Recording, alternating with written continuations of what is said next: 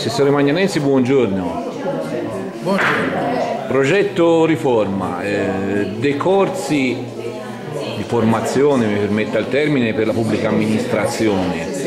Eh, ci saranno delle, delle ricadute eh, nei rapporti fra la pubblica amministrazione degli enti locali pistoiesi e i cittadini e le aziende in particolare? Esattamente, almeno è quello che noi ci aspettiamo quando abbiamo deciso, ci aspettavamo quando abbiamo deciso di programmare appunto queste formazioni. L'obiettivo primario è rendere la vita al cittadino e alle imprese la più semplice possibile. Nella, nella mia idea c'è quello di favorire un territorio che diventi amico delle imprese e dei cittadini e quindi i cittadini non devono, come dico spesso io, rimbalzare da un ufficio a un altro di vari enti senza trovare mai la risposta al loro quesito. L'obiettivo è garantire che il cittadino attraverso una semplificazione amministrativa sappia chi fa che cosa e vada lì e questa cosa che deve essere fatta sia fatta nel minor tempo possibile evitando rimpalli e responsabilità. Questo è l'obiettivo che speriamo di ottenere sia nei confronti dei cittadini e soprattutto delle imprese che se troveranno un terreno favorevole potranno non solo svilupparsi ma anche imprese esterne potranno decidere di venire a investire da noi.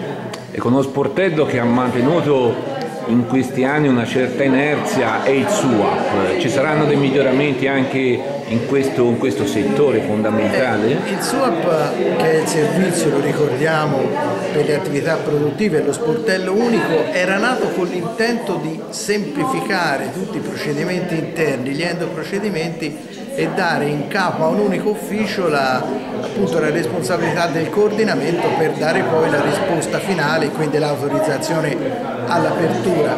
Diciamo che sul territorio alcuni sportelli funzionano peggio, alcuni sportelli funzionano meglio, però parlando con gli operatori, con gli imprenditori si evince che questa rivoluzione che ci si aspettava dagli sportelli unici in realtà non è avvenuta.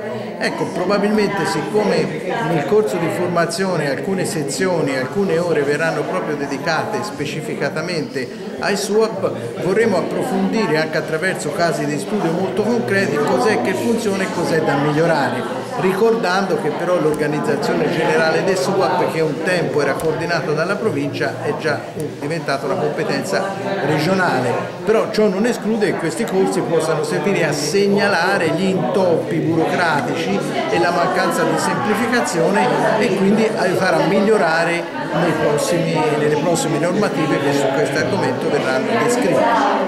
Senta, approfitto della, della, sua presenza, uno dei temi caldi sfortunatamente di questo 2014 sarà ancora una volta il mondo del lavoro, la crisi che, che stiamo attraversando anche a Pistoia, anche in Toscana.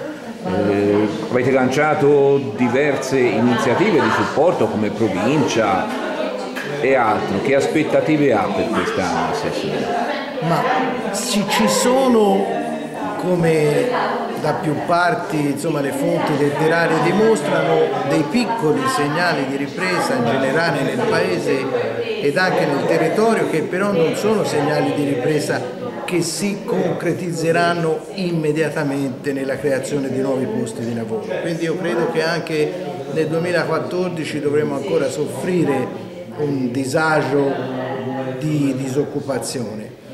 Diciamo che le iniziative che abbiamo promosso, e mi riferisco ad alcune in cui la provincia è stata proprio un motore, eh, c'è l'iniziativa sulla montagna pistoiese per la metallizzazione delle cartiere che ha permesso ad aziende che erano vicino al collasso di rimanere in piedi quindi l'occupazione in montagna in questo caso come sempre dico io vale il doppio rispetto all'occupazione in pianura proprio perché in montagna ci sono pochissimi posti di lavoro.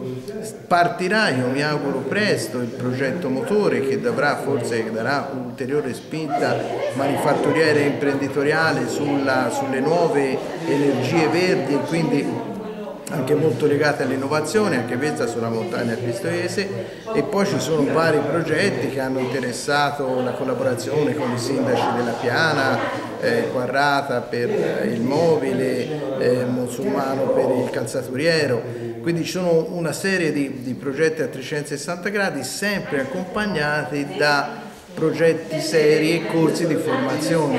Proprio ultimamente abbiamo eh, dato il diploma a 18 eh, persone che si sono formate in una, in una, materia secondo me che ha sicuramente un futuro che è la eh, raccolta e lo smaltimento dei rifiuti. Era stato un corso anche questo importante, voluto fortemente dalla provincia, finanziato dai fondi sociali europei e pensate che su 18 frequentanti al corso già 7 hanno trovato un'occupazione, quindi bisogna anche diciamo, cercare di formare le persone in quei settori che possono avere uno sviluppo occupazionale. So che non è facile perché bisognerebbe avere la, la palla di vetro, però quando si ragiona di innovazione, quando si ragiona di energie verdi, quando si ragiona di attività che possono andare intorno allo sviluppo delle, delle articolazioni dell'ambiente sicuramente si va un pochino più sul sicuro.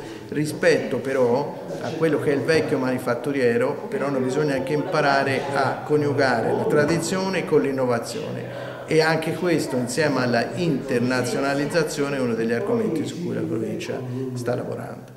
Bene, la ringrazio Assessore, argomenti ce ne sarebbero tanti il primo dei quali è anche l'asset che avrà la provincia o le province in Italia nei prossimi mesi, avremo modo, modo di parlarne. Grazie e buona giornata. Grazie a lei.